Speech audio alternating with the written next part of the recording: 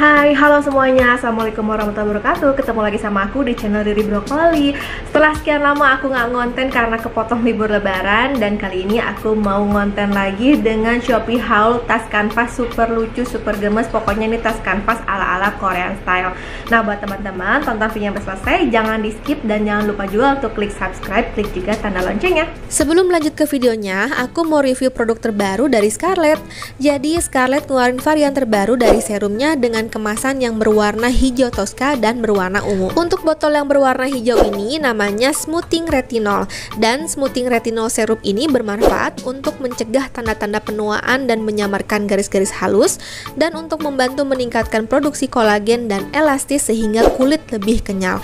Lalu tentunya membantu kulit wajah semakin cerah alami. Untuk kemasan dan ukurannya sama seperti serum-serum sebelumnya ya. Tekstur dari serum yang kemasan hijau toska ini cair dan berwarna putih putih susu. Dan saat di blend ke wajah itu sangat mudah banget dan sama sekali nggak lengket. Nah untuk kemasan yang hijau toska ini bisa digunakan untuk kulit yang normal ya. Jadi buat teman-teman yang tidak memiliki masalah berjerawat kalian bisa gunakan kemasan yang hijau toska ini dan untuk botol yang berwarna ungu ini khusus untuk tipe kulit yang berjerawat. Botol yang berwarna ungu ini varian niacinamide 5% beta glucan. Dan untuk manfaatnya tidak jauh dengan botol berwarna hijau Tosca varian smoothing retinol tadi yang membedakan hanya untuk jenis kulitnya saja. Serum yang botol ungu ini bertekstur cair dan berwarna bening dan serumnya sangat mudah saat di blend ke wajah.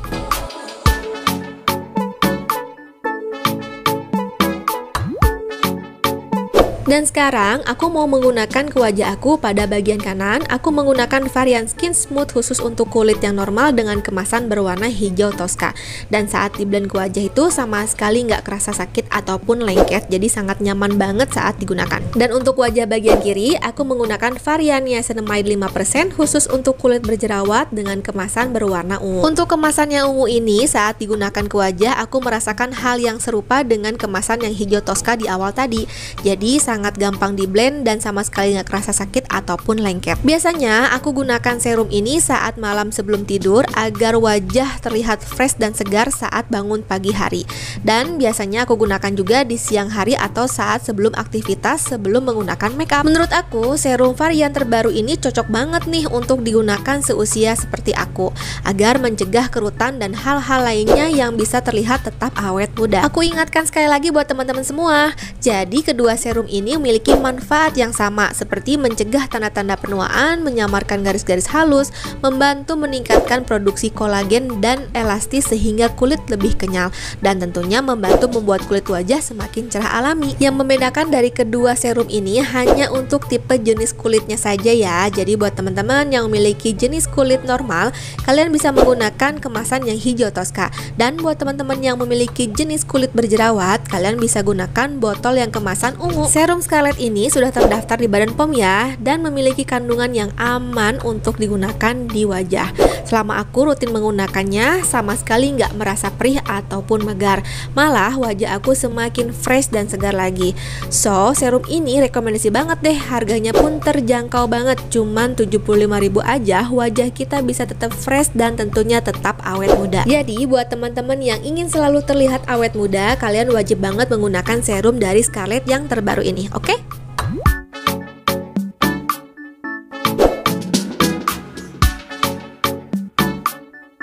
Kita lanjut ke Shopee haul tas kanvas ala Koreanya yuk. Shopee haul yang pertama ini harganya Rp35.000.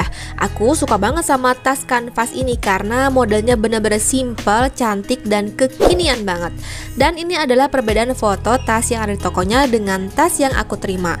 Menurut aku, tasnya sudah sesuai dengan gambar yang ada di tokonya. Ukuran tas ini 17 ke 22 cm dan tas ini muat untuk menyimpan handphone, dompet bentuk panjang dan bisa juga menambahkan isi tas dengan make up ataupun tisu. Untuk bahan kanvasnya pun tebal, tidak kaku dan kuat untuk menopang benda yang ada dalam tasnya. Model sletingnya standar dan sangat mudah untuk membuka tutup tasnya. Tas ini memiliki aksesoris tambahan yang bikin semakin estetik dan mewah banget. Jujur yang paling terdalam nih guys, aku suka banget sama tas ini karena tasnya bener-bener lucu banget dan emang simple banget. Pokoknya tas ini recommended banget deh. Jangan lupa untuk link produk ada di bio.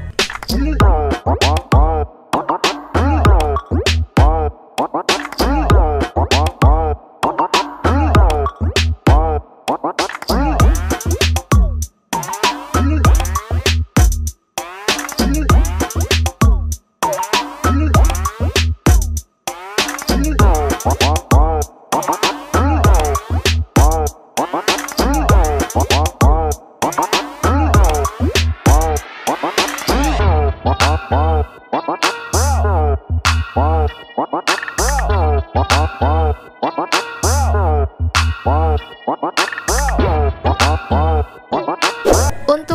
Tas yang kedua harganya 32.000 dan ini adalah perbedaan foto produk yang ada tokonya dengan produk yang aku terima. Alhamdulillahnya produk yang aku terima sudah sesuai dengan foto yang ada tokonya. Tas ini juga memiliki banyak pilihan warna dan semua warna itu gemes-gemes banget. Aku sampai bingung mau pilih warna yang mana. Ukuran tas ini 20 kali 13 kali 9 cm dan tas ini memang terlihat kecil mungil padahal dia bisa masuk handphone dan dompet ukuran panjang. Untuk menambahkan lipstick atau bedak juga bisa banget loh karena memang masih luas untuk penyimpanannya.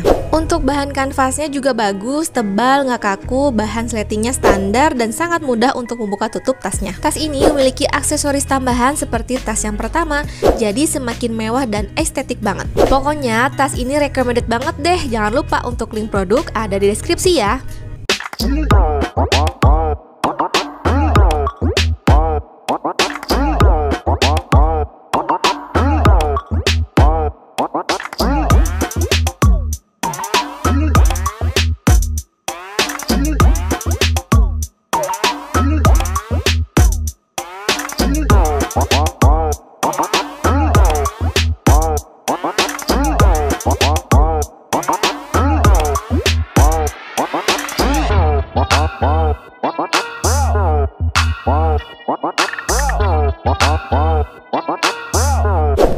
Ketiga ini harganya Rp38.000 dan ini adalah perbandingan foto produk yang ada di tokonya dengan produk yang aku terima. Alhamdulillahnya produk sudah sesuai dengan foto yang ada di tokonya. Tas kanvas ini memiliki empat pilihan warna dan semuanya tuh warnanya gemes-gemes banget. Aku sampai bingung mau pilih yang mana. Dan untuk tas yang ketiga ini sedikit besar dan memiliki model serut pada bagian atas. Bahan kanvasnya tebal dan gak kaku. Untuk tali dan jahitannya pun kuat jadi aman banget untuk menopang barang yang ada dalam tasnya. Menurut aku, tas ini bisa banget digunakan untuk ngampus loh, soalnya tasnya muat untuk menyimpan binder dan bisa diisi juga dengan handphone, dompet, ataupun make up. Dan untuk model talinya bisa dipanjang pendekkan ya, jadi bisa digunakan sebagai tas lempang. Untuk talinya kurang lebih panjangnya 20 cm. Pokoknya tas ini recommended banget, jadi jangan sampai kehabisan. Kalian wajib check out sekarang juga, jangan lupa untuk link produknya ada di deskripsi.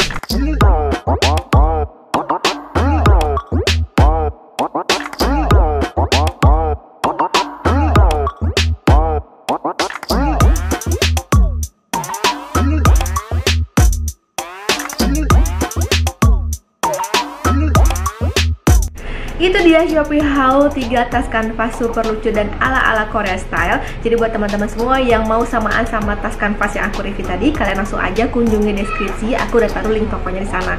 Nah, buat teman-teman juga yang mau beli serum Scarlett sesuai yang aku udah review tadi, kalian juga bisa langsung kunjungi deskripsi dan jangan lupa juga follow Instagram Scarlett dan jangan lupa juga untuk follow Instagram aku.